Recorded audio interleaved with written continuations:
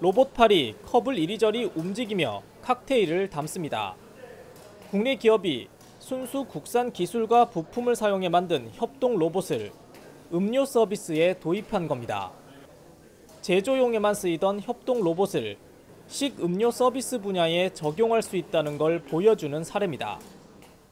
어, 협동 로봇을 올해 출시를 했고 그러면 그 협동 로봇이 현재로서는 많이 제조 현장에서 주로 사용되고 있지만 기존의 산업용 로봇으로서는 접근할 수 없었던 서비스업 분야에도 이 로봇을 이용한 어떤 사업화가 비즈니스 모델이 가능하다라는 걸 좀 보여주기 위해서 산업용 로봇이 곱게 갈아진 얼음을 직접 옮기고 떡과 견과류 등을 집어 그릇에 담습니다.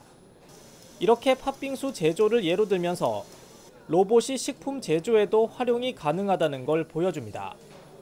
이 업체는 기존 산업용 로봇에 비해 작업 속도를 높이고 가격은 낮춰 식품 외식 업계에서 부담 없이 로봇을 사용할 수 있도록 하는데 초점을 맞췄습니다. 지금 현재 그 주류를 이루고 있는 것들은 협동 로봇을 응용한 여러 가지 바리스타 로봇이라든지 뭐 여러 가지 어플리케이션들이 나오고 있습니다만 그 이외에도 그 산업용 로봇의 장점을 살린 어, 뭐 예를 들면 택이 빠르다든지 정밀도라든지 이런 부분들을 활용한 여러 가지 어플리케이션도 개발이 가능할 거라고 생각되거든요. 로봇을 식품 외식 분야로 확대하기 위한 제조 로봇 전국 투어 설명회가 열렸습니다. 올해 자동차 전자 부품과 섬유 의류 분야에 이은 로봇 기업과 수요 기업 간의 세 번째 만남의 자리입니다. 이날 로봇 기업들은 식품 외식 산업에 도입 가능한 로봇을 소개하는 한편 전시와 구매 상담도 진행했습니다.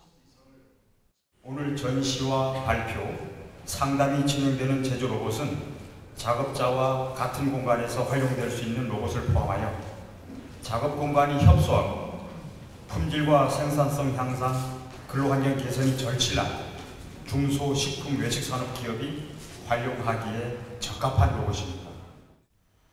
식품 외식 산업은 최근 5년간 연평균 성장률이 3% 수준에 불과한 것으로 나타났습니다.